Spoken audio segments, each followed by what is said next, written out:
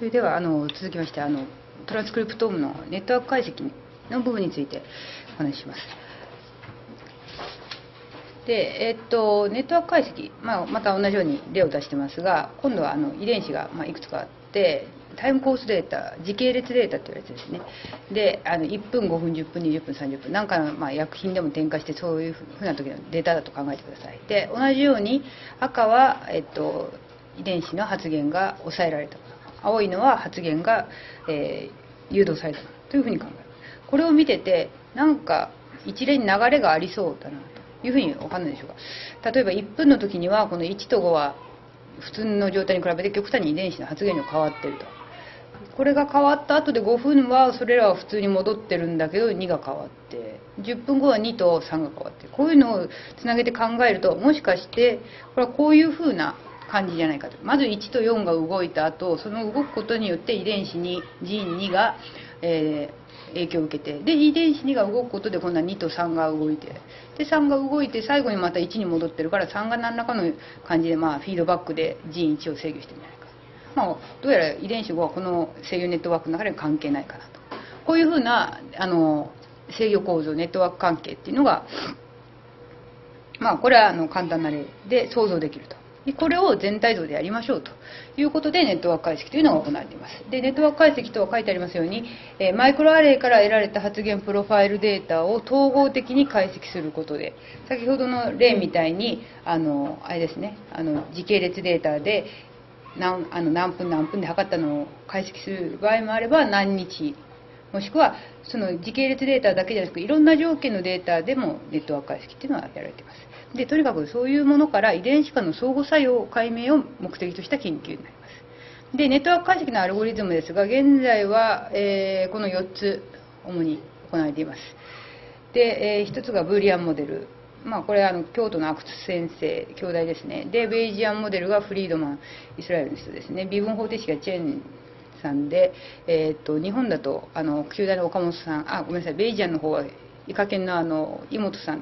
東大医科研の井本さんとかが主にされてる日本だと微分方程式の方は、えーと、日本だとあの旧大の岡本先生とか S システムとかいうのを作られてやっています。でグラフィカガーシャモデルだと本研究所の、えーと、東さんと堀本さんっていうのが、えー、開発したあのパイオニアワークとしてやられたアルゴリズムですで今日はあのブリアンモデルベイジアンモデルグラフィカガーアンモデルの3つについて簡単に説明しますね。でネットワーク解析の目的ですが、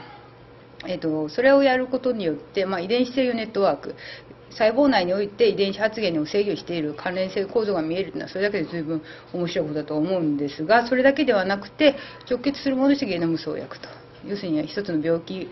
の原因遺伝子それを病気を起こしている遺伝子の原因は何か原因は何かっていうのを見つけていくことができる。っていうのが一つ。もう一つはある遺伝子がおかしくなったから逆にこういう病気になったこの流れが分かってしまうその上を叩けばいいと。いう考え方もできると、まあ、どっちにしてもゲノム創薬なりオーダーメイド医療。その辺であの使えるだろうというふうに考えられています。で、えー、早速ですが、ネットワーク解析のブーリアモデル。ブール、ブール関数とかいうのがありますように、ブールっていうのはあの01に直すっていう話ですね。で、あの、ブーリアモデルっていうのは基本的にあの、発現量、遺伝子の発現データ、数値データで、例えば0から100、あ100、200って、まあ、ひどいのは1000まであるんですが、そのニューメリカルのあの連続データを10、もう2つに分けてしまうというようなことをやります。でここに示したのがブーリアンモデルの中でも一つのあの高位相有効グラフというモデルの作り方です。でまず遺伝子の発現データがある。これは、えー、あの時系列データじゃなくてある遺伝子を破壊した時の各遺伝子の発現情報データがどうなっているかというものをの例ですね。例えばワイルドタイプであれば遺伝子 G1 から G4 は全部発現1でしたと。すごく簡単簡略してますよ。で遺伝子 4G4 をデリーションミュータントした時あの破壊破壊株では、まあ、G4 はもちろん破壊株だから発現量ないしですよね。G3 の発現量変わってましたと。で G3 の G3 の、えー、遺伝子破壊株だと G4 が変わってました。G2 だとこういうふうなこういうふうなあの普通の発現マトリックス発現プロファイルといわれる発現情報がで得られたとします。それをここがブールモデルですね。バイノミアルリレーションシップ。要するに二項関係で全部抽出するんですよ。G4 を壊した時 G3 が変わった。だから G4 アフェクト G3 であると。で G3 変わった時に G4、G3 を壊した時に G4 の発言が変わった。だから G3 アフェクト G4 である。こういう二項関係を全部抜き出したところ二項関係をもとにブールモデルを作る、01モデルを作る。これが、えー、あれです。ブーリアンモデルのあれですね、01。要するにさっきまでは数値データで2.5とか0.2とかいろいろ数値を持ってたんだけど、最終的にまとめられると G1 から G4 の、あの、あれ、えっと、かんこの2つが関係があるかないかっていう、ある G 関係があるもの同士は1関係がないものは0で示された、えー、モデルになると。これがブルーモデルですね。でこの高い層有効グラフはここからが面白くて、えーと、この中でまず G3 と G4 っていうのを見てみると G3 は G4 に関係し G4 は G3 に関係する。これあの方向がありますよね。G4 を破壊した時に G3 が動いており G3 を破壊した時に G4 っていう方向がありますので G3 が G4 に向かって G4 が G3 に向かうっていうこのちょっとサイクリックな関係になってるはずですよね。実際のデータから見えてくるしかしこの高い層有効グラフっていうぐらいで全体像を見るわけでこの1個ずつのサイクリックな構造はいちいち見ないんですよ。だからここのサイクリックな構造と思われるところはまとめてしまうということをやっちゃいます。まとめてしまいまとめてしまって新しいグループとして考えてしまう。でここをゼロにすると。でそういうのを一回全部サイクリックな構造をそのアジャスこの01モデルの中からこういうふうなあの G3 と G4 のこういうサイクリックなところを全部まとめてグループ化します。でその後今度は行列の、えー、再配あの配列行と列を入れ替えたりなんだりしてこの1が1の部分がありますね。これを、えっと、右側右三角に集まるようにします。そうするとこう、まあ、たまたまですがこここういうふうになってますね。こう1のところは2つ1がある。G1 のところはの行は2つ1がある。G2 の行は1つ1がある。G3 の行は0であるこういうふうに上三角に1が集まるようにした後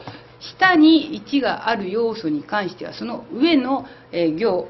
に存在する。同じ1つの列において一番下の1だけ残して上を0にすると。いうことを行います。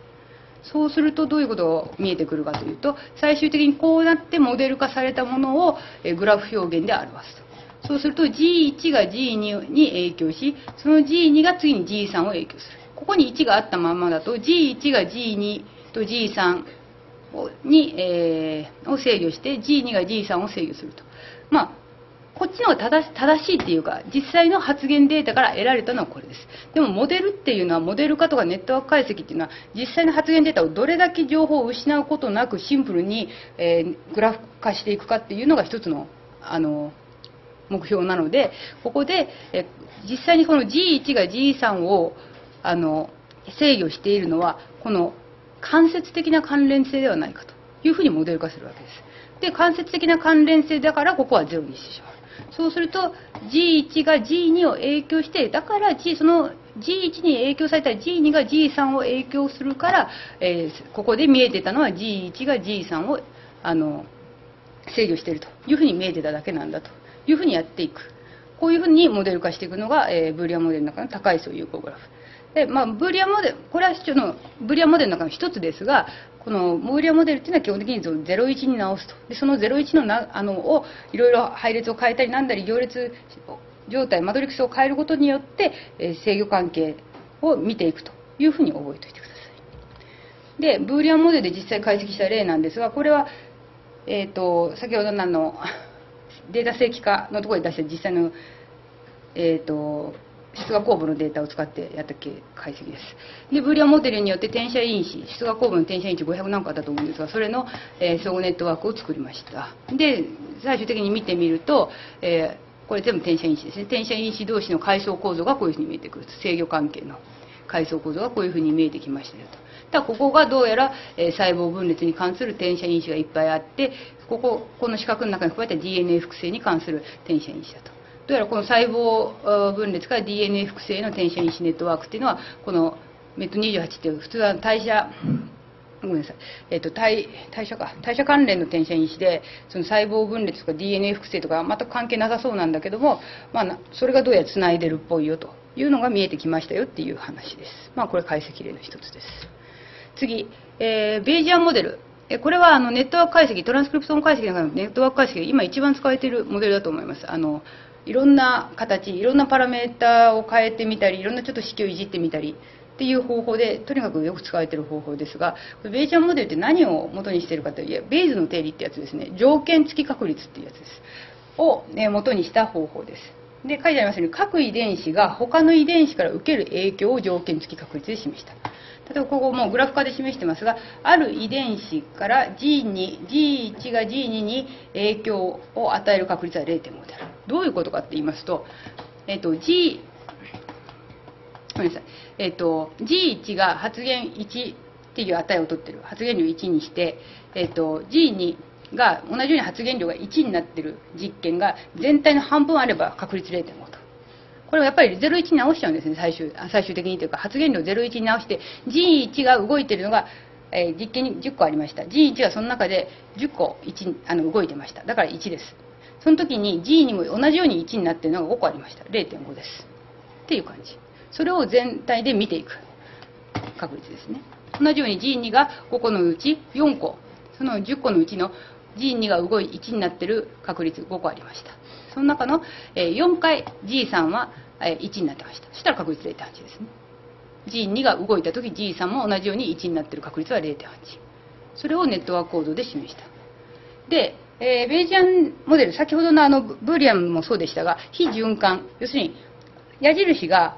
サイクリックになったらもうそこできないと。だからサイクリックにならないようにしなきゃダメだと。サイクリックな構造は、えっ、ー、と、ちょっと不具合がある。で、現在一番新しいっていうか最近、えー、開発されたベイジャンモデルで、ちょっとどこの人か忘れましたが、だと、その非循環グラフもあの表すことのできるベイジャンモデルをちょっと作ったっていうかネットワークの式を作ったみたいですがちょっと普通一般的にの一般的な意味でのベイジアンモデルっていう意味ベイジアンモデルでは非循環グラフは表せない。で初期状態を決めて次のステップの各遺伝子の発現確率を求めるということをやっていますでいい点っていうか、まあ、長所でありあれは適用例が最も多い要するにまあ一番あの理解もできやすいし一番まあ真実に近いと も思われるし1対1も表せるしという形ですね。で、ただ、すごく計算時間かかります。で、数千になると多分爆発します。今できるのかな？多分できないと思うんですけど、大体数百とか一千ぐらい、数千っていうのはちょっと私が知らないだけかもしれないですけど、計算時間とにかくかかるというのがちょっと問題ですね。で、もう一つ、グラフィカルガウシャンモデル。これも、あの、すごくこれはあの後であの演習の時に実際にツール使うんでその時また詳しく話しますがこれの原理何を使うかっていうと変相関係数行列を使いますよと変相関係数というものを使いますでそれは何ぞやという話なんですがまず相関係数というものから説明しますね。ある数値データを得られた時に皆さんその要素の間の例えば遺伝子があって実験があって遺伝子のある遺伝子の発現状態が実験後でバーッと出てる時にその遺伝子間の類似とか相関係数っていうのをすぐ求めると思うんですよ。何らかの数値マトリックスを得られた場合に。で相関係数っていうのは実際何を示してるかって言ったら、まあ、相関係数言葉の通りですコリレーションそれぞれがどのぐらい関係を持っているかというのを見ている。でこういうふうに ABC に対してこっち ABC ですね。ABC ABC ABC のこの三角のマトリックスが得られると。相関行列が得られると。でそこから、え、それをグラフ化して表すと ABC があって A と B は0.8あこれ間違ってますね。0.8でこっちが0.8でこっち0.64ですね。えっと A と B が0.8でこれちょっと入れ替えてくださいね。で B と C が0.8で A と C は0.64ってこういう相関係数。ここまでは普通にやります。で Excel でも何でも簡単に出ます。じゃあこれでじゃあ ABC の関連構造見えたかと。いうと実はそうではなくてそこに書いてある点線。この A と C の関連性っていうのは B を介した A と C の疑似相関であって A と C は本来は似てない関連性を持ってない。けれども B を介しているがために A と C の間に関連構造があるように見えてしまう。いう性質がある。そういうこの点線の部分を取り除くのが変相関係数行列。というものです。変相関係数行列とは逆行列。相関係数の逆行列という逆行列を出して、えー、求めていくんですがちょっと詳しくはまたあの知りたい方は来てください。あのその時教えます。ちょっとあの変相関係数今回は多分出してないですね。変相関係数の出し方は。変相関係数って普通に調べたらいろいろ出し方載ってますのであの変相関係数っていうのはとにかくこの関連直接的な関連構造だけ抜き出すっていう値です。で普通の相関係数から計算式で出されるものです。でこれを用いることによってこの A と C のいわゆる疑似相関というものが消えて、えー、この直接的な関連構造というのが見えてくる。こういうのをネットワーク構造にネットワーク推定に使っていくと。であの実際使った例としては、えー、イーコリの SOS オート遺伝子群47個ですね。47個すでに分かっているので、えー、レクセ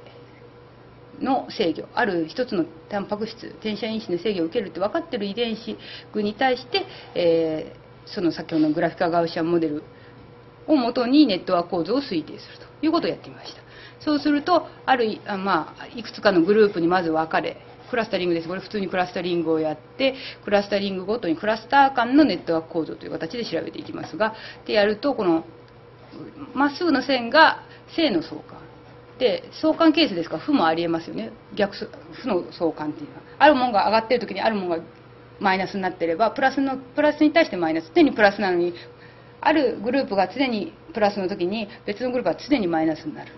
っていうことであるとそれが負の相関って考えられますので負の相関を点線でやってる。で、えーまあ、全パッと推定されたのは全この細いのも太いのも含めた関係構造ですけどその中で特に強いものだけ抜き出していろいろ配列を変えてみると位置を変えてみると、まあ綺麗に、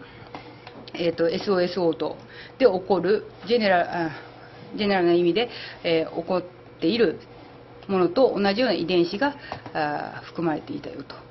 こういうふうな細胞周期で同じような同じ転写因子レクス A レク A っていう同じような転写因子によってパッと動くっていうのは分かっててもそれらがどういうふうに相互関係を持ってるか見えなかった。今までその SOS オートっていうのが早すぎて分からなかったけどもネットワーク推定をすることによってこういう順番で起こってるんだねと。いうのが分かりましたよっていう話です。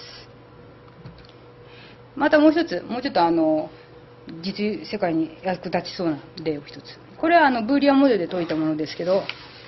これは実際にあの、えーと、既存の市販抗心筋剤えっ、ー、となんか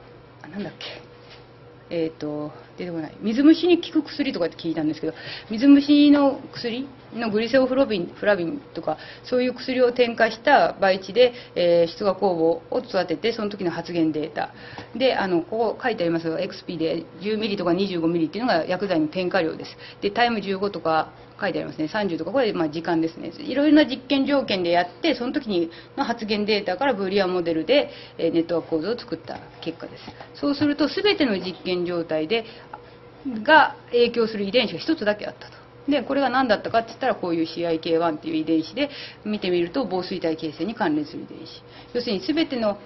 どんな実験状態でもとにかくこの薬剤を添加したらこれがどうやらあのターゲットとして動いてるらしいと。ということでで、まあ、実際これがあの防水体形成を阻害するわけですからこの薬剤を添加すると。だからまあ水虫に効くんだろうと。いう話で水虫のターゲット遺伝子とか、まあ、このグリセオフロビンのターゲット遺伝子が分かったという話でした。ということで以上では、まあ、トランスクリプトームの、えー、お話終わりです。大体クラスタリング発現データの正規化それからクラスタリングネットワーク解析の、えー、基礎が以上です。よろしいですかね。で、えー、続いてプロテオームに行きます。プロテオームについては、えー、っとまず定義これは生物のゲノム産物ですね。メッセンジャー RNA ではゲノム産物の層はもしくは個体あるいは一つの細胞で発現しているタンパク質の全ての動態を要素とする。ということになります。ではもうご想像通りでタンパク質を意味するプロテインとゲノムのオウムを組み合わせて作られた図法です。で、まあ、目的は、えー、従来のように一つあるいは少数のタンパク質に限らずタンパク質群ですね。群タンパク質って、すごくあの研究がの歴史が古くて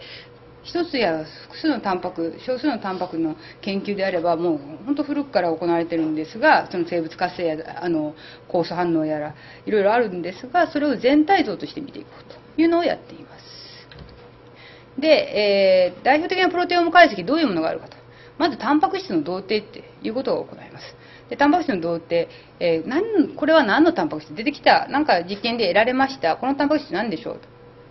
そこから始まりますね。このタンパク質は何でしょうっていうので使うのが、まあ、実験的に使う質量分析法です。で、えー、次タンパク質のプロファイリング。発現プロテオームと言われるやつですがこれはあの今度はあれですね。あのタンパク質ある細胞内でどのタンパク質がどれだけはないです。どれだけではなくてどのタンパク質が出ているか結局その中にあるのかっていう。のを調べるのが発現プロテオームと言われるので、えーと、今ちょっと違う実験手法もあると思うんですがよく言われるのは二次元電形動法。歴史的には二次元電形動法っていうのがそういう発現プロテオームを行う場合にあのよく、まあ、その実験手法として歴史的に言われていると。で、タンパク質の相互作用解析、これは機能テオ機能プロテオームと言われますが、それの実験的な手法としては、有名な酵母2ハイブリッド法と言われるものです。Y2H。それからプルダウンあの MS 法、PDMS 法というのもあります。で、それぞれについて、え、どういうものかっていうのを示していきます。で、えー、タンパク質、プロテオーム解析のフローチャートをこちらに示しています。まず、タンパク質、実験的にタンパク質の分離生成をします。分離生成をして、えー、その遺伝子を同定すると。まあ、タンパク質が分かってきたら、その遺伝子、配列情報とかが分かれば、えー、そこから遺伝子を同定できると。で、ゲノム情報から遺伝子を同定すると。で、また、タンパク質のアミノ酸配列から、創造性検索、ブラストとか BLAST ですね、ご存知の方知ってると思いますが、ブラストってを使って、あの、タンパク質、すでに分かってるタンパク質と同じじゃないかとか、それに似てるんじゃないか、その人では分かってなくても、マウスで同定されてるタンパク質と似てるから、これはマウスのこれと似たタンパク質じゃないかとか、そういうものを、えー、行うという。で、えー、そういうのをいろいろ見ていってタンパク質の機能解明を行いまたその出てきた結果をデータベース化する。そうすることによって次のタンパク質と次のタンパク質においてこの創造性検索で役立ったりいろんなことで役立ったりすると。いうことがあります。では続いて質量分析法に行きます。まずタンパク質を同定するので質量分析法というのは実験的に行われると。で質量分析法なんですが書いてあるように質量分子量を測定する技術。で装置として質量分析装置というのが使われます。で、まあ、やってる方は多分よく知ってると思うんですが、あの、パッと普通に聞いてて質量分析装置って何よっていう話になった時に、あの、何だったっけ？ちょっと、田中浩一さんでしたっけ？あの、島津の。あの、あの方が、あの、なんだっけ？えー、っと、最近ちょっと、あの賞ノーベル賞を取ったのはこの分析質量分析装置の製作原理を開発し開発っていうかに関わったということで、えー、田中浩一さんですね。あのノーベル賞を取られたあれですね。で、えー、これは何をする機械かと言いますとタンパク質やタンパク質をプロテアーゼで処理して得られるペプチド。要するにタンパク質の一部アミノ酸配列として得られる一部のペプチドの質量を正確に測定する装置ですと。で、さらにペプチドを質量分析内内部でさらに断片化して、断片の質量解析から構造情報、アミノ酸配列やアミノ酸組成などを得ることができると。で、ということですね。で、もう、どんどんいきますね。質量分析装置の構成なんですが、まずイオン源っていうのがあります。質量をイオン化して生成イオンとして、え、質量分析系、もうこう機械の中にボーンって投げ込む。で、あのー投げ込むと今度はイオンを重さ重さとかそれどんだけくっついたかに従って質量分析系っていうのがそれを分離していきます。こう落としていったり。まあ重ければ早く落ちるしすごくいいあのすごく単純な言い方するとあのこっちにすごく強い N 極と S 極えこっちに S 極から S 極のもの投げたとしてこっち N 極があれば重い N 極あ重いもんだったらゆっくり続きますよね。小さいもんだったらポッといったら早く到着する。でさらに重くてあんまり S がくっついてなければ途中で落ちると。そういう形で、えーと、イオン化したものをどんどんどんどん分離していく。その性質によって。のが質量分析器です。で分離されたものを検出器イオン検出器っていうのでこれはどういう質量を持っててどういう電荷を持ってる。で電荷と質量が分かればその配列とかあそのアミノ酸ってもう分かってますよね。あの23種類とかです。それを組み合わせたらどういうどういう組み合わせだとか。そういうのをあの考えていくというのが N4 検出器ですね。で、えー、書いてありますようにこのこのような3段階になります。まずペプチドの単理としてこうまあ、タンパク質がこうぐちゃぐちゃぐちゃぐちゃあるとタンパク質を細分化したペプチドを、えー、こう取り出すとでこれを、えー、こういうふうにあの質量分析計で測るとそれぞれのペプチドの重さっていうのがその質量分析であの測定されるとこのペプチドはこんぐらいの重さですよ。このペプチドこんぐらいの重さですよ。じゃあこのペプチドはじゃあ何なのかなと。などういう組成なのかなっていうのをもう一回質量分析による配列決定を行うと。これここの部分だけをこのこれのもう一回質量分析系にかけてやるとこれの組成はどうなのかなっていうのを調べてああの例えばあの ATG あ ATGC じゃない、えーと、アミノ酸ですね。アミノ酸のこういういろんな種類の23種類がこれはこんぐらいこのあの V はこんぐらいとグルタミン酸はこんぐらいとかそういうのを情報で出してくると。で最終的にこの情報がデータベース上にあるあるタンパク質の配列情報に一致しているかどうか。これは配列情報じゃないですかね。これは量ですからあるアミノ酸が例えばアミノ酸が10個とかこのグルタミンは10個でえっ、ー、と今適当に言ってます。グルタミンが10個でグルタミン酸が、えっと、5個の配列はあるかなとかそういうのを調べていく。でそれを23種類例えば組み合わせで、えー、これ A が5個あって B のアミノ酸が3個あって C のアミノ酸が4個あってそういう組み合わせの、えー、でタンパク質があるかなっていうふうな探し方をしていく。でこれは質量タグ法っていう方法で探していくということをやります。で、えーと、質量タグ法。はこういうふうな方法になります書いてます。タンパク質の消化酵素、あ、ごめんなさい、消化酵素じゃない、酵素消化断片の質量値と、この MSMS、先ほどペプチドの重さで、ペプチドの重さにもう一回 MS、質量分析をかけることによって、アミノ酸のそれぞれの個数っていうか、情報、重さが分かる。こういうな無分的なんですね。これ実際、ペプチドで切っちゃってるわけですから、タンパク質全体の量ではないんですが、その部分的な内部配列情報を用いてデータ弁索、検索を行い、タンパク質を同定する。これペプチドの質量が出ました。ペプチドの質量から、えー、もう一回質量分析かけることによって、え各アミノ酸がどれぐらいの量あるか出てきます。でアミノ酸っていうの構造分かってますからそれが何個あると何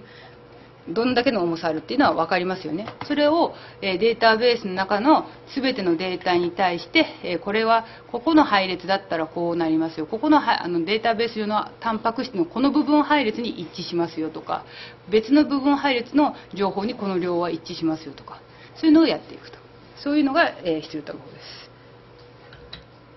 す。で、えーこういうような質量分析装置を用いたプロテオーム解析。の流れですが、まあ、二次元電気映像とかこういう画像解析とかであるタンパク質ターゲットタンパクを決めます。で、えプロテアデス処理とかペプチド抽出をした後このここら辺ですね。この最後の段階で質量分析を用いて最終的にその抽出したタンパク質が何であるかと、まあ、だからタンパク質の同定要するにターゲットとしたもしくは自分が見たいタンパク質がの配列一部の配列一部じゃないタンパク質などからそれがどういう配列を持ったどんなタンパク質なのかを見ていくのが質量分析の役目っていうか分析装置の、役割ですね。で書いてありますようにプロテオーム解析における MS 質量分析装置の役割ですが、まあ、同定これが一番大きいと思います。タンパク質の同定こういう方法がありますよと。で定量。もちろんその重さを測るわけですから定量できますよね。で翻訳語修飾本来の配列となんか違うものがくっついてるよ。っていうものが分かればそのくっついてるもの例えばリン酸基の重さに等しければあこれ翻訳語修飾を受けたねとかそういうのが分かると。でタンパク質。タンパク質相互作用の解明とかもありますがそれは要するにペプチドとペプチドが重なってたり重なってたりというかその一つのあるあの相互作用を持っているタンパク質を取ってきてそれをのペプチドを解析することによって2種類のタンパク質を同定できればそれで相互作用が解明できますねという話ですね。まあいろんなものに使えると。とにかくタンパク質を決定していくっていう意味ではその質量分析装置は大変有用であると。いう話です。で、えー、今までそのタンパク質を1個とかまあ1個ですよね。質量分析装置で見ていくと。でしたが、今度は網羅的、いかにもプロテオームというような網羅的なプロテオーム解析について、網羅的なプロテオーム解析には2つありまして、1つはあの発現プロテオーム、でもう1つは相互作用プロテオームで、発現プロテオームというのはどういうものか。でありますが、生体細胞内において、とにかく何が発現しているか、細胞内において発現しているプロテインっていうのは、その細胞が持っている遺伝子の中の、何割っつったかな。1%, 1ってことはないと思う。1%だったっけな。結構まだ分かってないんです。分かってないからよく言われるのが1%とか 10%10% は遺伝子で動きが変わってる遺伝子の話でタンパク質になるのは1%とか5%とか人によって言うこと違うんでちょっと分かんないんですけど発現プロテオームでとにかくある遺伝子にああるなんだっけ細胞においてあのどんなタンパク質が出てるかっていうのをとにかく調べようと。どういうタンパク質が出てるかを見たいと。でもう一つが相互作用プロテオム。細胞内においてあのタンパク質っていうのはあの実際の機能物質です。でその機能物質同士がこう相互作用を行うことで初めて何らかのさあのなんていうんですか、えーと、生体機能維持に関わるメカニズムが発動すると。いうことでそのタンパク質間の相互作用というのはすごく重要。でこれを調べていこうという、えー、2つの流れがありま。あ、こう理由としては、まあ、システム生命現象の解明や、えー、失病関連疾患関連タンパクパスウェイ発見による病気の機構解明、まあ、シグナルトランスダクションとかもあのタンパク質の影響ですからねあと薬物の作用機構とかいろいろ、まあ、タンパク質を見ることによっては分かるという話です。で発現プロテオームの実験的手法として、まあ、二次元電気泳動で二次元電気泳動で得られたものを質量分析で、えー、見るっていう、えー、流れがあります。で二次元電気あごめんなさい。で発現プロテオームには2つありましてその網羅的解析と differential display っていうのがあります。で網羅的解析っていうのはとにかくその細胞内のタンパク質を網羅的に見る見る見るっていう。別にあのあれそこから先はいろいろあると思うんですよ。とにかくがんの時に何が出てるか。ごめんなさい。とか健康の時に何が出てるかあの出芽酵母だと何が出てる E. coli だと何が出てるとにかくそういうのを網羅的に解析していくのが網羅的解析。一方 differential display っていうのはある条件の時に特異的に変動する特異的に発現が変動しているタンパク質を解析する。この2つの流れがあります。でそれらを行うことによって、まあ、何が出ているかっていうタンパク質を見つけていくこと。で発現しているタンパク質逆にあれですねある病気の時にだけ発現しているタンパク質が分かればそのタンパク質の機能っていうのが分かりますよね。そういうことを探していく。タンパク質は遺伝子よりさらに分かってないので情報が。あのもちろん立体コードとかいっぱい研究されてますが難しい複雑っていうのもあって情報量とかそういうのにした DNA やトランスクリプトームに比べてものすごいタンパク質っていうのは量が少ないと。分かっていることが。だからそういうことをいろいろやっていかなきゃいけないという状態です。でじゃあ続いて発現プロテオームで使えるその二次元電気映像っていうのはどういう手法かというのを書いてます。まずプロテオーム解析っていうのは先ほど言いましたように例えば人だと数千個程度のタンパク質を解析しなきゃいけない。で数千個程度が大体出てるだろうと。だから10%ぐらいですかね。数千個程度のタンパク質を見たいなと1回で見たいと。しかしこれまでの、えー、実験技術の問題としてこれまでタンパク質の分離手法としてエキクロだとか SDS ページだとかあの東電天然気映像とかいろいろありますがそれらで分けることができるのは100種類程度。ある塊を得てそこから分けることができるのはすごく網のでかいあなんていうんですかあのボール。こういうざるっていうかな。それを通すようなもの。そうしたら100種類程度には分離できると。だけど見たいのは数千個単位を一気に見たい。数千個を分けたいという話になると。どうしたらいい解決法として分離分析法これ3ついくつかあるわけです。これエキクロで SDS と東電点しか書いてないですけど他にもいろんな分離分析法があるんだからそれを多次元的に複合すればいいじゃないか。要するに組み合わせてやりゃいいじゃないかと。大きい網しかなければ大きい網の網を2枚重ねてちっちゃい網を作って通せばいいじゃないかっていう考え方ですね。そうすると要するに100種類程度の分離能があるんだから100種類 ×100 種類の2つのパラメーターで 100×100 は1万ですよね。1万あれば数千個のタンパクは分離できるだろうと。網羅できるだろうというふうな考え方ができたのが、えー、二次元電気映像法です。でまあ絵で示したのが次になります。東電点電気映像だと要するにマーカーがあってその電荷によってこういろんなタンパク質が分離できると。一方 SDS ページだと重さタンパク質の重さによってこう分けることができる。ということで1元目に1次元目こちらに電荷。こちらで、えー、重さ。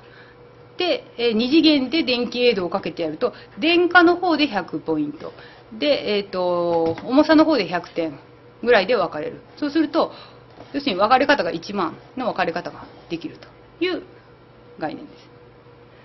でこれを使って、えー、実際に行われるのがその網羅的解析であればこういうふうにやってある細胞からすりつぶしてそこのタンパク質に何が出てるかっていうのを電荷と重さで分けてやればそのまあ何千個かがこういうふうにポツポツポツポツ出てくると見えてくると。でまた一方 differential display の場合はこのような形であります。これあの二次元電気の絵だとあの図だと思ってください。あの実験の実際のデータをちょっと出せないんであのこれ模式化したものです、えっと、こっちが、えっと、電荷か。電荷で上が、えっと、重さ。あごめんなさい。X 軸が電荷で Y 軸があの重さ。何キロだったんで。でこっちがあのコントロールの方で発現しているタンパク質の例。でサンプルこっちがんでも何でもいいです。で発現しているタンパク質の例これを2枚重ねてみます。重ねてみるとちょっと分かんないでしょうけどこの丸この大きい丸これは両方で出てるんですよ。しかしこの A と B とか C この辺は D にはあ D じゃないサンプルの方にはないんですね。だからそのないやつはこうやって出てくる。黒で出てくる。で一方この D って示したこの丸。これはコントロールの方にはないですよね。だからこれは、えー、サンプル。要するにあの病気とかサンプルで病気とかもしくは何かの実験条件で特異的に発現しているタンパク質。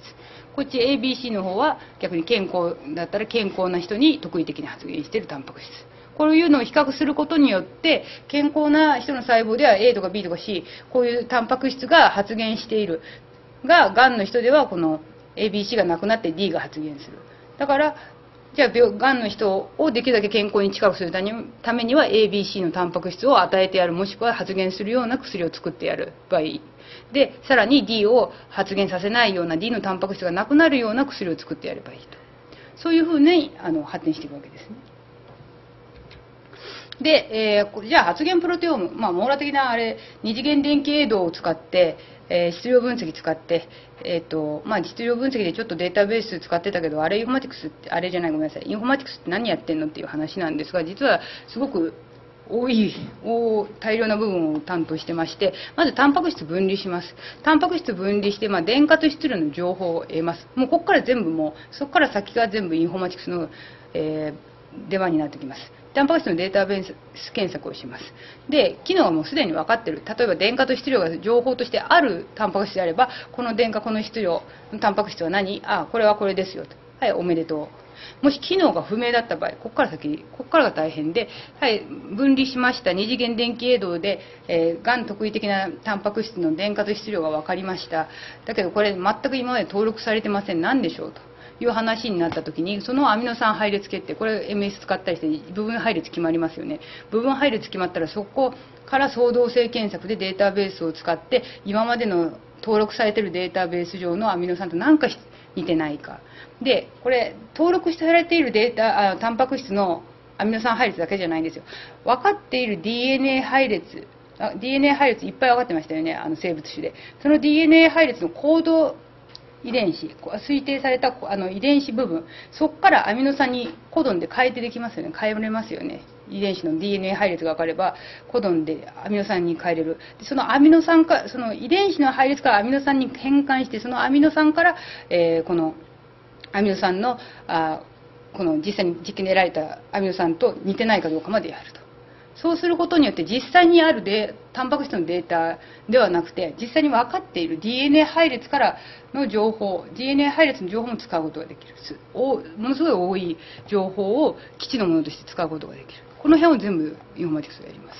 で、えー、アミノ酸配列情報と比較をして、まあ、機能を推定する。もしくは機能分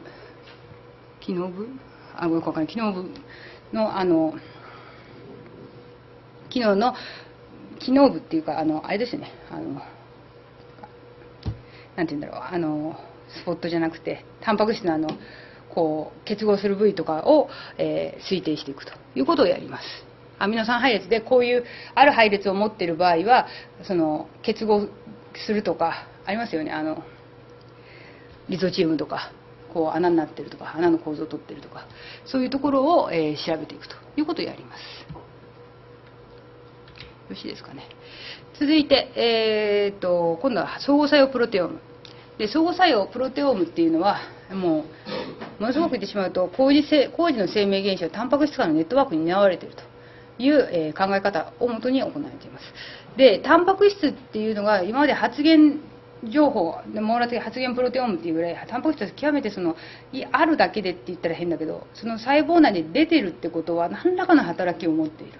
だから何が出ているかっていうのを調べるのがまず第一段階。その次の段階は多分タンパク質同士が何どんな関連構造を持っているか。あるタンパク質が次のタンパク質にどういうふうな影響を与えるか。シグナルトランスダクションであれえ代謝ネットワークであれ全ての、えっと、生命現象の中で行われている現象っていうのはタンパク質間のタンパク質同士の関連構造。っていうことからタンパク質間のネットワーク全てに担われているということでタンパク質間の相互作用網羅的解析を行うと。いうのが相互作用プロテオームの最終目標です。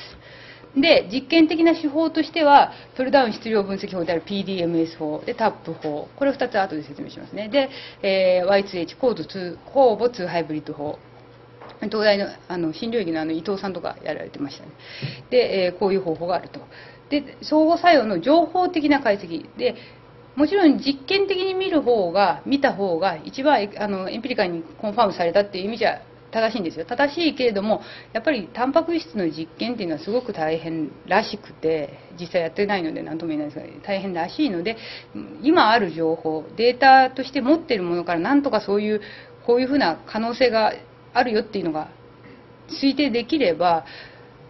むやみやたらに実験するよりももっと絞れますよね。ということで、そのタンパク質相互作用の情報学的なアプローチっていうのもすごく行われています。で、一つがドッキングシミュレーション。これはあの分子動力学計算とかを行うことによ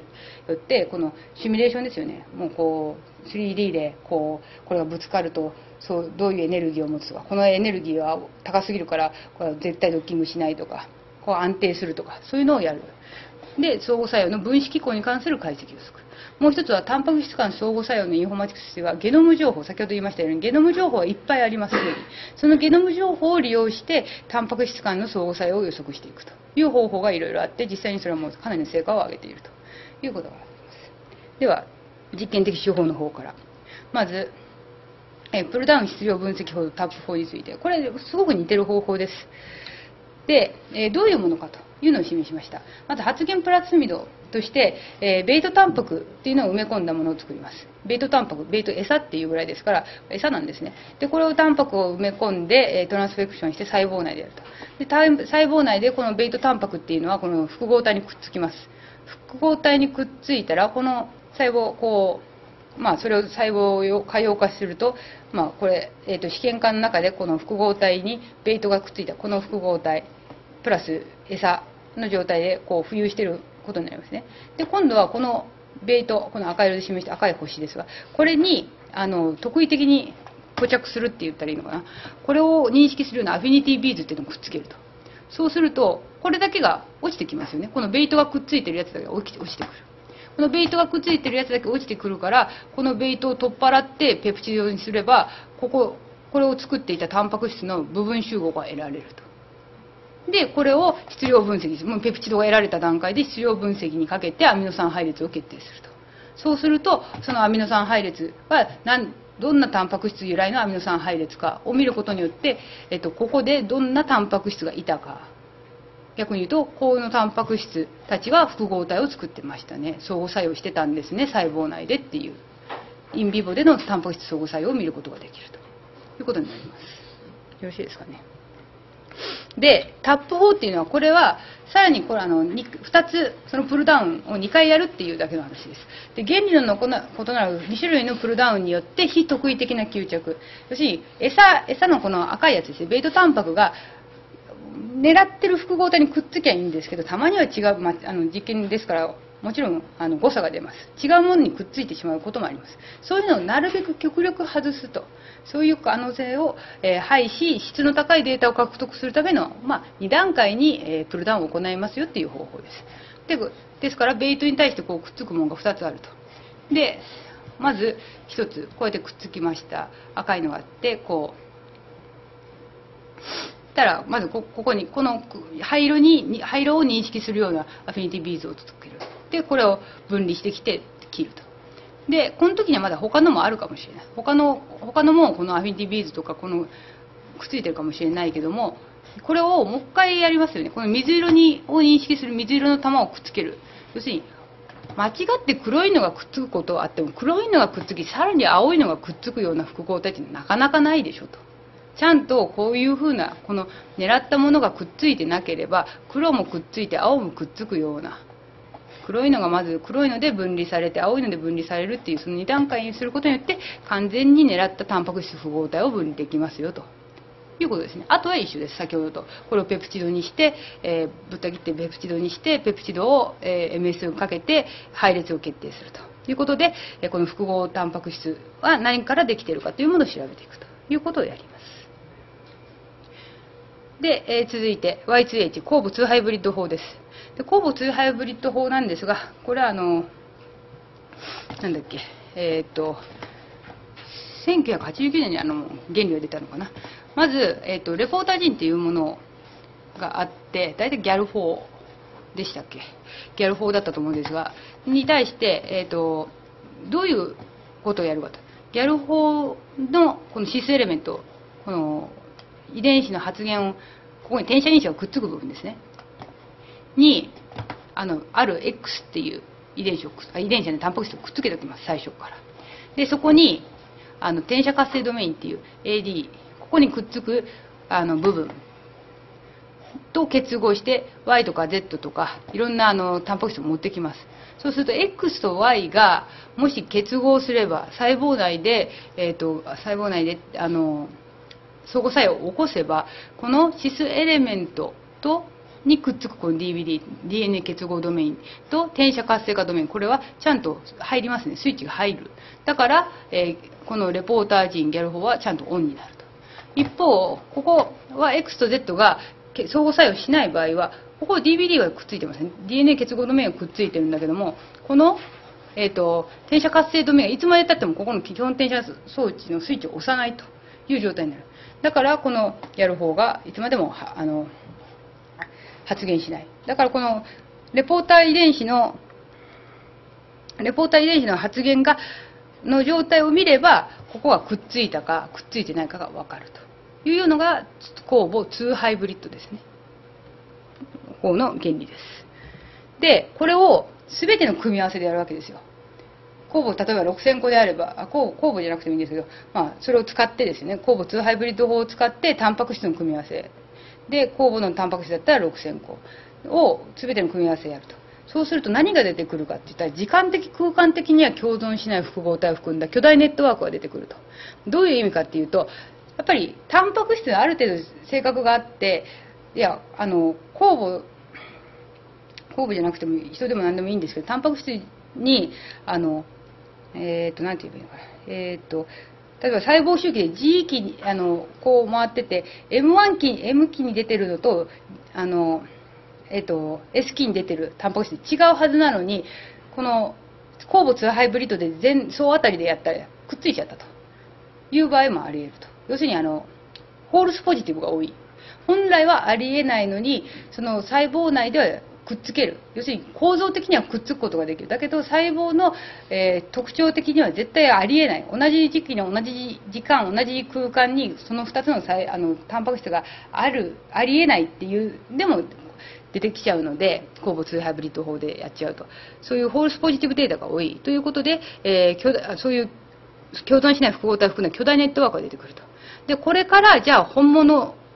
本物とか実際にあり得る組み合わせはどれかっていうのを探していくと。ここが、えっ、ー、と、あれ、インフォマティクスの部分になります。で、巨大ネットワークに対して既存知識の参照っていうことをやっていきます。まだある、すでにある部分はどこか。巨大ネットワークですごく複雑な巨大ネットワークでできうると、そこに対して、えー、実際にあるものをマークしていくと。それで実際マークしていくと、ここはあり得る、ここはあり得る、この中に含まれてるが、この構造はあり得るとか、そういうのをやっていく。で、同定された Y2H の相互作用に生物学的なもっとらしさの判断基準となる情報負荷。これは、えー、様々なあの基準ありますよね。あの、まあ、リファレンス、あの、えっ、ー、と、ジョジャーナルっていうか論文データとしてすでにこういうのがあるだからここの関係はあるかもねとかで逆にもう絶対これはありえないよねっていうのも排除していくそういうことをやっていって部分的に正しい部分的に正しい部分的に正しいものを集めていって局所的ネットワークを作っていくということをやっていますだ。から鉱物ハイブリッドを大変言う、大変もうあの本当にインビボでリアルに見えるんだけれども、ホールスポジティブが多い。だから、そこからあの必要なものを抜いていかなきゃいけないっていうものを覚えておいていただけたらいいかなというふうに思います。で、えー、最後ですが、あの、ここからが相互作用プロテオームにおいて、あの、インフォマティクス、本当にもう情報だけ、実験を使わないで、えー、推定していく方法です。で、タンパク質間の相互作用に分子機構に関する解析をする。これドッキングシミュレーションってさっき言った 3D でごちゃごちゃやっていくシミュレーションですね。えっ、ー、と、いう方法です。で、もう一つはゲノム情報を利用した。さあの、一番最初に言いましたけど、ゲノム情報っていうのはもうすでに何千っていう細胞種あ生物種で分かった。これを利用しない手はないということで、ゲノム情報を利用したタンパク質が相互作用というので、主なので、この3つ、上3つについて今回お話しします。まず、えー、コンコンサーブドジーンネイバフード、あの、遺伝子の近さの保存を考えるっていうあれですね。遺伝子、遺伝子の近さの保存。近近接、なんだっけな、保存とだったな、ちょっと日本語名忘れました。で、えー、そういう方法です。で、これは書いてあります。複数の細菌ゲノム、特に細菌ですね、複数の細菌ゲノムにおいて、オーソロガスな遺伝子のペアが近接、もしくは同じ順序で存在する。複数の細菌なので、あの、進化的に、あの、進化的にっていうか、今は別のもんですよね。今は別のもんだけど、元は一緒だったけど、変わったもの。で、えー、存在する場合、その遺伝子がコードするタンパク質は機能的に関連があると考えてネットワークを再構築する。つまり、どうしてその2つが同じ順番で、常にその同じ順番で同じ近くにあるか、いろんな種なのに、違う種なのにあるかっていったら、その2つが関係性があるからだろうというふうに考える。もう、あの、どちらかというと進化、進化的な考え方から来た方法です。で、えー、例えば、この、えにくいんですが、この縦線とこの点々、これですね、オペロン1のこの2つ、これはオペロン1でも残ってるし、別の細菌種のオペロン2でも残ってる。だから、この2つは多分、これがコードしているタンパク質、遺伝子、あこれが、え、の産物である遺伝タンパク質っていうのは、生体内において何らかの相作用を示しあの持ってるんだろう。だからオペロンとして残ってるんだろうというふうに考える。一方、えー、っとえーえーとまあ、あともう一つ、ね、ごめんなさい、あと斜め線とこの白いやつですね、これもオペロン2とオペロン3で残ってますよね、2つ以上の種で残ってる、だからここも線を引く。ところが、えー、この、えーと、青いのと白いのじゃないな、あこれ、ここ式忘れた、えっ、ー、と、青と斜めか、青と斜めは、この青青っぽいですね青と斜めのやつはこれはこのオペロン2でだけあって他ではないですよね他の生物種では。っていうことはここの2つっていうのはそのたまたまこのオペロン2で発生したものであってその機能的に機能がこういう機能が生物として必要だからどの種でもあるんだではなくてたまたまこの生物種において出来上がったなあの遺伝子の配置だろうというふうに考える。ということでこの2つの間では線を引かない。こういうのをあのいろんなあの何十種類とか何何十種類をですね10種類とか20種類ぐらいの細菌ゲノムでやっていくと。そうすると、えー、巨大なタンパク質ネットワークを作ることができると。いう方法は conserved gene neighborhood です。結構重要です。2002年の方法ですが。で、その次、これがあの系統樹プロファイル、系統プロファイル法、 phylogene genetic profile という方法で、これはやっぱりあの進化的な考えから始まったもので、相互作用する遺伝子は進化の過程で先ほど言ったゲノム中で共に保存されるが共に消滅している。だから、ゲノム上において、先ほど並びも考えてましたけど、あるなしの挙動が類似するものは機能的にリンクしているだろうというふうに考えていく方法です。例えば、ゲノム1、ゲノム1で1から7までの遺伝子があります。でゲノム2はこんだけゲノム3ゲノム4それぞれあのオーソロガスな遺伝子があると。で、えー、系統プロファイルを作ると。まずゲノム1をここに縦の一番最初の、えーと、左のカラムに並べると。でゲノム2にあるやつを1ないやつを0ゲノム3にあるやつを1ないやつを0ゲノム4にあるやつを0あ10で表していく。そうすると G1 に対してのこれはプロファイルというぐらい。ですが G1 のプロファイルというのが110というプロファイルが得られる。それに対して G2 は101そういうのを全ての遺伝子に対してプロファイル10で表されてプロファイルっていうのを作っていく。で今度はこの101例えばここで書いてある G1 から7の中では G2 と G7 が101で一緒ですよね。だからこの2つは極めて類似した機能を持って1つのグループにしてしまう。ででこのグループするだけではなくてさらにここからこのプロファイルの1つの要素が変わったものは系統的に似てるだろうというふうに考える。だから101と100はこの最後に1があるかなしかですよ。だから線でつなぐで100と110は以降この真ん中の0が1になってるだけだからまた線でつなぐしかしこの101と110だとこの2番目と3番目が違いますよね。だからここの2つは線をつながない。こういうことをやってえー、全体を調べていく。そうすると最終的に推定されたネットワークとしてはこういうネットワークが出てくると。こう書いたらちょっと面白くない。こう書いるといかにもタンパク質のネットワークが出てくる。で実際にこれでやったあの結果を見てみるとあのある代謝代謝のある部分の関連する酵素のタンパク質が同じようにあの同じようにというかある代謝関連の酵素がネットワーク構造を作ってたと。そういう結果が報告されていると。まあ、すごくこれも有用な方法です。で、えー、最後、ロゼッタストーン法。ロゼッタストーンってなんか、かあの歴史であったと思うんですが、そういう、本当組み合わあの組み合わせっていうか、あれですね。これ、あるゲノムでは別の遺伝遺伝子としてコードされている2つのタンパク質が、別のゲノムでは融合した1つの遺伝子としてコードされている場合、この2つのタンパク質は機能的に関連があるというふうに推定しよう。もうさっきから言ってるのは全部ゲノムの情報だけからやってますね。で、まずゲノム1でジーン A とジーン B である配列がありますよと。ゲノムで2で見てみると、相動性検索をやってみると、えっと、ゲノム2だとジーン A と同じところがジーン C の前半で、まあね、ジーン B と同じところがジーン C の後半にあったと。で、ね、考えそういうデータがあった場合これはどうやらジーン A とジーン B っていうのはなんか何らか進化の過程かなんかで一緒同じような機能を持ってる同じような一緒に相互作用する。でなんか結合して複合体作るとかなんとかそんなんだったらもう一緒のこと遺伝子で一緒になってしまえと。そういうふうになったんだろうというふうに考えていく。で実際見てみると大腸菌で別の遺伝子で保存されているものが人では一つの遺伝子になってたりと。いうふうなことが多々あったと。いうものですで、こういう方法がロゼッタストーンです。で、こういうのをやっていく、まあ、以上があのこの3つですね、 conserved gene neighborhood と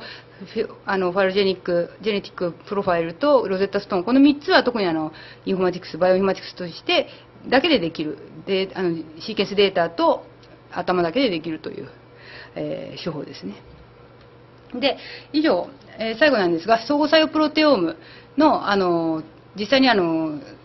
やるときにどういうソフトウェアがあるかっていうのを示しておきました。ホモロジー検索、相同性検索のサーバーとしては、まあ、ファスタブラストモチーフとありますが、まあ、大抵ブラストでしょうね。普通使うのブラストとかブラスト P、えー、サイブラスト、その辺を使うと思います。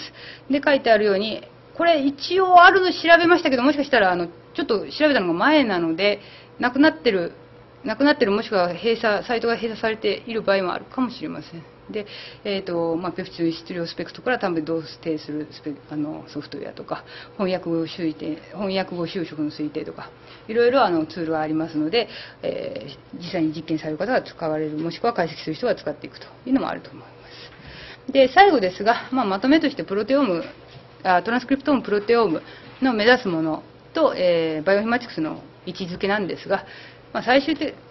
最終的にっていうか最初から何回も言ってますが、網羅的な包括、網羅的で包括的な解析研究のことをトランスクリプトームプロテオム研究。だからトランスクリプトーム研究やプロテオム研究で対象が1遺伝子や10遺伝子ってことはありえないと。少なくとも数百。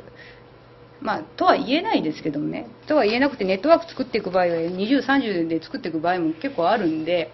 むしろその、いらない情報入るよりはいる情報だけを入れて正確なものを作るっていう場合は少ない場合もありますけど基本的には網羅的包括的な解析研究を行うと。で目的ですが、まあ、機能推定であったり相互作用。機能推定と相互作用っていうのがもう2大目的ですよね。